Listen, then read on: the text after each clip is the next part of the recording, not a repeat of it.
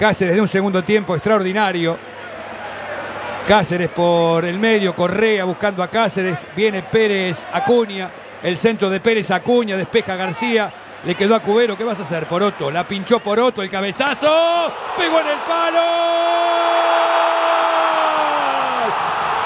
Romerito, gol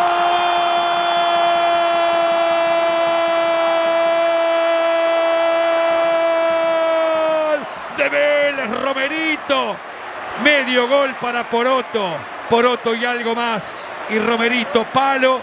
Y adentro, Vélez 2. Atlético 0 otra vez, Romero.